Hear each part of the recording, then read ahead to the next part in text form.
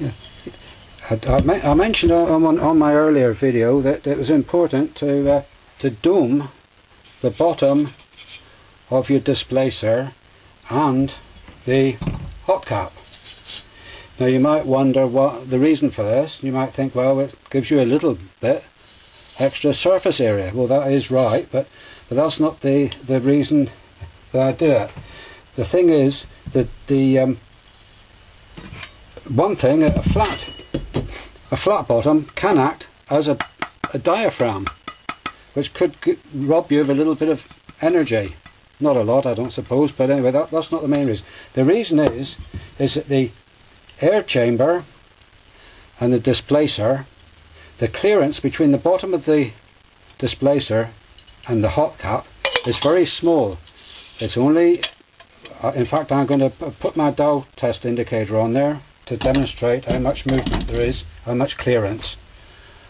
I put it in the chuck so it's a bit more, it's a bit steadier. There it is.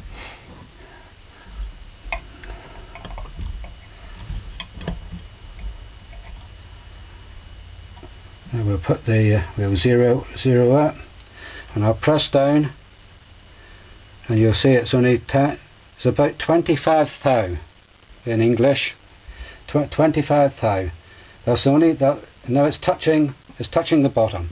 You can hear it touching the bottom. It's only 25 thou now you see what happens if if I use I'm going to uh, break the film for a second I'm going to reset up to show you what happens with a flat bottom. There I've now set up a, a, a flat bottomed container and I'm going to warm it up to see what happens. I'll zero it. Here it is. We heat the bottom as if you'll see was retracting it that's a 60 60 thou 70 thou 80 thou there's that's a, a lot more than the clearance between the the, the air chamber and the, the displacer. So when you warm the engine up it's not going to run because the, the it's going to it, it's the, the the bottom is retreating from the flame, so it's going in inside, and it, it would foul the uh, the displacer, and it, it, it, won't oscillate. The thing is, there mustn't be any there mustn't be any touching. Everything has to there has to be free movement. There mustn't be any friction whatsoever. It has to it has to ring. It has to uh, because, because it relies on vibrations. Now, if I put a, um, another hot, I'll put the hot top now underneath there.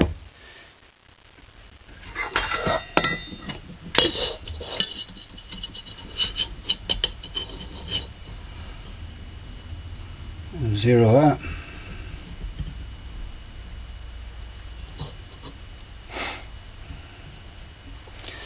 And I'm going to heat this one and you'll see that it,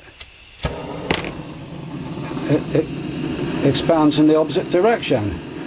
Oh, I haven't got any movement on the dial test indicator.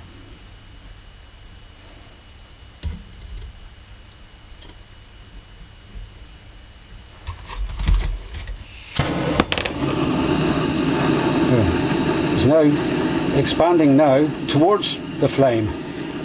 You see, in other words, it's giving more clearance. You see, so so now we'll have the 25 thou, which was the original clearance, plus the clearance that we have there now. We've got uh, 40 thou, you see. But of course, when when the uh, displacer warms up, that one's also going to um, expand by possibly 40,000 so they're going to follow each other all the time. Okay I'm, I'm hoping that that's uh, made it clear. Um, it's, it's, we hope so. Thank you for watching